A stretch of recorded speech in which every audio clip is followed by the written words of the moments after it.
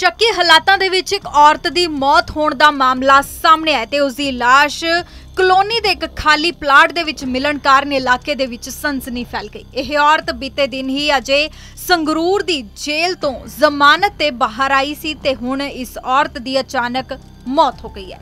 ਜਾਣਕਾਰੀ ਮੁਤਾਬਿਕ ਮ੍ਰਿਤਕ ਔਰਤ ਦਾ ਨਾਮ ਪੂਜਾ ਹੈ ਅਤੇ ਇਹ ਲੁਧਿਆਣਾ ਦੇ ਪਿੰਡ ਸੀੜਾ ਦੀ ਰਹਿਣ ਵਾਲੀ ਹੈ, ਜਿਸ ਦਾ ਵਿਆਹ ਵੀ ਕੁਝ ਸਾਲ ਪਹਿਲਾਂ ਹੀ ਸੰਗਰੂਰ 'ਚ ਹੋਇਆ ਸੀ। ਅਤੇ ਇਹ ਔਰਤ ਕੁੱਟਮਾਰ ਦੇ ਮਾਮਲੇ ਦੇ ਵਿੱਚ ਜੇਲ੍ਹ ਦੇ ਵਿੱਚ ਬੰਦ ਸੀ।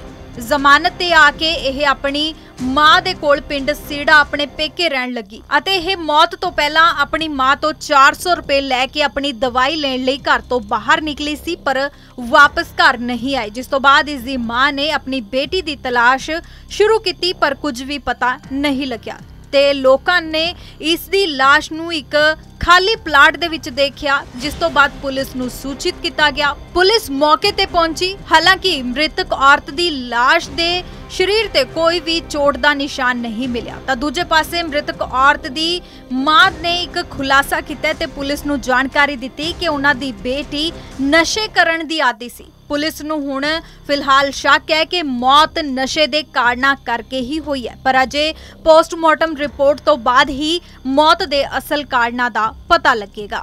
ਸ਼ੱਕੀ ਹਾਲਾਤਾਂ ਦੇ ਵਿੱਚ ਇੱਕ ਔਰਤ ਦੀ ਮੌਤ ਹੋਣ ਦਾ ਮਾਮਲਾ ਸਾਹਮਣੇ ਆਇਆ ਤੇ ਉਸ ਦੀ ਲਾਸ਼ ਕਲੋਨੀ ਦੇ ਇੱਕ ਖਾਲੀ ਪਲਾਟ ਦੇ ਵਿੱਚ ਮਿਲਣ ਕਾਰਨ ਇਲਾਕੇ ਦੇ ਵਿੱਚ ਸਨਸਨੀ ਫੈਲ ਗਈ। ਇਹ ਔਰਤ ਬੀਤੇ ਦਿਨ ਹੀ ਅਜੇ ਸੰਗਰੂਰ ਦੀ ਜੇਲ੍ਹ ਤੋਂ ਜ਼ਮਾਨਤ ਤੇ ਬਾਹਰ ਆਈ ਸੀ ਤੇ ਹੁਣ ਇਸ ਔਰਤ ਦੀ ਅਚਾਨਕ ਮੌਤ ਹੋ ਗਈ ਹੈ।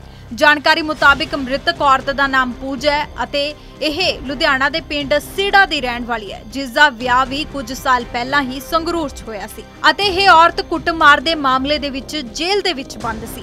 ਜ਼ਮਾਨਤ ਤੇ ਆ ਕੇ ਇਹ ਆਪਣੀ ਮਾਂ ਦੇ ਕੋਲ ਪਿੰਡ ਸੀੜਾ ਆਪਣੇ ਪੇਕੇ ਰਹਿਣ ਲੱਗੀ ਅਤੇ ਇਹ ਮੌਤ ਤੋਂ ਪਹਿਲਾਂ ਆਪਣੀ ਮਾਂ ਤੋਂ 400 ਰੁਪਏ ਲੈ ਕੇ ਆਪਣੀ ਦਵਾਈ ਲੈਣ ਲਈ ਘਰ ਤੋਂ ਬਾਹਰ ਨਿਕਲੀ ਸੀ, ਪਰ ਵਾਪਸ ਘਰ ਨਹੀਂ ਆਈ, ਜਿਸ ਤੋਂ ਬਾਅਦ ਇਸ ਦੀ ਮਾਂ ਨੇ ਆਪਣੀ ਬੇਟੀ ਦੀ ਤਲਾਸ਼ ਸ਼ੁਰੂ ਕੀਤੀ, ਪਰ ਕੁਝ ਵੀ ਪਤਾ ਨਹੀਂ ਲੱਗਿਆ ਤੇ ਲੋਕਾਂ ਨੇ ਇਸ ਦੀ ਲਾਸ਼ ਨੂੰ ਇੱਕ ਖਾਲੀ ਪਲਾਟ ਦੇ ਵਿੱਚ ਦੇਖਿਆ, ਜਿਸ ਤੋਂ ਬਾਅਦ ਪੁਲਿਸ ਨੂੰ ਸੂਚਿਤ ਕੀਤਾ ਗਿਆ। ਪੁਲਿਸ ਮੌਕੇ ਤੇ ਪਹੁੰਚੀ, ਹਾਲਾਂਕਿ ਮ੍ਰਿਤਕ ਔਰਤ ਦੀ ਲਾਸ਼ ਦੇ ਸਰੀਰ ਤੇ ਕੋਈ ਵੀ ਚੋਟ ਦਾ ਨਿਸ਼ਾਨ ਨਹੀਂ ਮਿਲਿਆ। ਤਾਂ ਦੂਜੇ ਪਾਸੇ ਮ੍ਰਿਤਕ ਔਰਤ ਦੀ ਮਾਂ ਨੇ ਇੱਕ ਖੁਲਾਸਾ ਕੀਤਾ ਤੇ ਪੁਲਿਸ ਨੂੰ ਜਾਣਕਾਰੀ ਦਿੱਤੀ ਕਿ ਉਹਨਾਂ ਦੀ ਬੇਟੀ ਨਸ਼ੇ ਕਰਨ ਦੀ ਆਦੀ ਸੀ। ਪੁਲਿਸ ਨੂੰ ਹੁਣ ਫਿਲਹਾਲ ਸ਼ੱਕ ਹੈ ਕਿ ਮੌਤ ਨਸ਼ੇ ਦੇ ਕਾਰਨਾਂ ਕਰਕੇ ਹੀ ਹੋਈ ਹੈ। ਪਰ ਅਜੇ ਪੋਸਟਮਾਰਟਮ ਰਿਪੋਰਟ ਤੋਂ ਬਾਅਦ ਹੀ ਮੌਤ ਦੇ ਅਸਲ ਕਾਰਨਾਂ ਦਾ ਪਤਾ ਲੱਗੇਗਾ।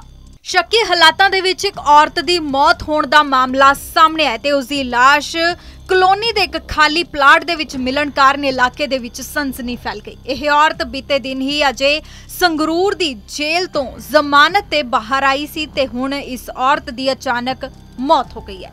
ਜਾਣਕਾਰੀ ਮੁਤਾਬਿਕ ਮ੍ਰਿਤਕ ਔਰਤ ਦਾ ਨਾਮ ਪੂਜਾ ਹੈ ਅਤੇ ਇਹ ਲੁਧਿਆਣਾ ਦੇ ਪਿੰਡ ਸੀੜਾ ਦੀ ਰਹਿਣ ਵਾਲੀ ਹੈ, ਜਿਸ ਦਾ ਵਿਆਹ ਵੀ ਕੁਝ ਸਾਲ ਪਹਿਲਾਂ ਹੀ ਸੰਗਰੂਰ 'ਚ ਹੋਇਆ ਸੀ। ਅਤੇ ਇਹ ਔਰਤ ਕੁੱਟਮਾਰ ਦੇ ਮਾਮਲੇ ਦੇ ਵਿੱਚ ਜੇਲ੍ਹ ਦੇ ਵਿੱਚ ਬੰਦ ਸੀ। ਜ਼ਮਾਨਤ ਤੇ ਆ ਕੇ ਇਹ ਆਪਣੀ ਮਾਂ ਦੇ ਕੋਲ ਪਿੰਡ ਸੀੜਾ ਆਪਣੇ ਪੇਕੇ ਰਹਿਣ ਲੱਗੀ ਅਤੇ ਇਹ ਮੌਤ ਤੋਂ ਪਹਿਲਾਂ ਆਪਣੀ ਮਾਂ ਤੋਂ 400 ਰੁਪਏ ਲੈ ਕੇ ਆਪਣੀ ਦਵਾਈ ਲੈਣ ਲਈ ਘਰ ਤੋਂ ਬਾਹਰ ਨਿਕਲੀ ਸੀ, ਪਰ ਵਾਪਸ ਘਰ ਨਹੀਂ ਆਈ। ਜਿਸ ਤੋਂ ਬਾਅਦ ਇਸ ਦੀ ਮਾਂ ਨੇ ਆਪਣੀ ਬੇਟੀ ਦੀ ਤਲਾਸ਼ ਸ਼ੁਰੂ ਕੀਤੀ, ਪਰ ਕੁਝ ਵੀ ਪਤਾ ਨਹੀਂ ਲੱਗਿਆ। ਤੇ ਲੋਕਾਂ ਨੇ ਇਸ ਦੀ ਲਾਸ਼ ਨੂੰ ਇੱਕ ਖਾਲੀ ਪਲਾਟ ਦੇ ਵਿੱਚ ਦੇਖਿਆ, ਜਿਸ ਤੋਂ ਬਾਅਦ ਪੁਲਿਸ ਨੂੰ ਸੂਚਿਤ ਕੀਤਾ ਗਿਆ। ਪੁਲਿਸ ਮੌਕੇ ਤੇ ਪਹੁੰਚੀ। ਹਾਲਾਂਕਿ ਮ੍ਰਿਤਕ ਔਰਤ ਦੀ ਲਾਸ਼ ਦੇ ਸਰੀਰ ਤੇ ਕੋਈ ਵੀ ਚੋਟ ਦਾ ਨਿਸ਼ਾਨ ਨਹੀਂ ਮਿਲਿਆ। ਤਾਂ ਦੂਜੇ ਪਾਸੇ ਮ੍ਰਿਤਕ ਔਰਤ ਦੀ ਮਾਂ ਨੇ ਇੱਕ ਖੁਲਾਸਾ ਕੀਤਾ ਤੇ ਪੁਲਿਸ ਨੂੰ ਜਾਣਕਾਰੀ ਦਿੱਤੀ ਕਿ ਉਹਨਾਂ ਦੀ ਬੇਟੀ ਨਸ਼ੇ ਕਰਨ ਦੀ ਆਦੀ ਸੀ। ਪੁਲਿਸ ਨੂੰ ਹੁਣ ਫਿਲਹਾਲ ਸ਼ੱਕ ਹੈ ਕਿ ਮੌਤ ਨਸ਼ੇ ਦੇ ਕਾਰਨਾਂ ਕਰਕੇ ਹੀ ਹੋਈ ਹੈ। ਪਰ ਅਜੇ ਪੋਸਟਮਾਰਟਮ ਰਿਪੋਰਟ ਤੋਂ ਬਾਅਦ ਹੀ ਮੌਤ ਦੇ ਅਸਲ ਕਾਰਨਾਂ ਦਾ ਪਤਾ ਲੱਗੇਗਾ।